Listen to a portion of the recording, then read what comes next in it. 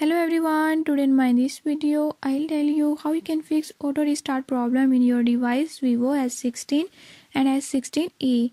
In this video I'll tell you few tips and tricks that you can use to fix it. Before I start, if you are new to my channel don't forget to subscribe and press bell icon. Watch complete video and learn how you can do it. Let's